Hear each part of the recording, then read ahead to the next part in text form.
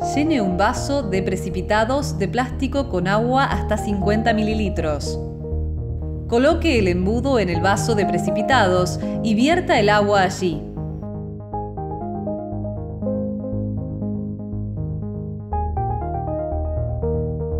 Empuje el termómetro a través de la ranura de la tapa hasta que toque la parte inferior del vaso de precipitados. Mida la temperatura del agua, T1, comprobando que la misma esté a 20 grados centígrados, más menos 2 grados centígrados.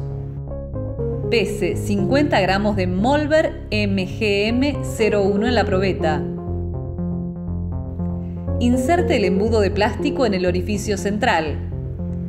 Vierta los 50 gramos de tamiz en el primer vaso que contiene el agua en un movimiento completo usando el embudo. Agite el termómetro 5 veces mezclando el agua y el tamiz usando la ranura semicircular.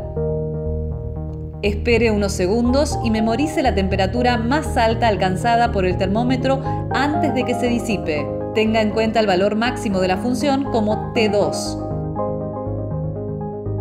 se realiza la cuenta temperatura máxima T2 menos temperatura inicial del agua T1. El resultado es el delta T del tamiz molecular, el cual debe ser como mínimo de 30 grados centígrados.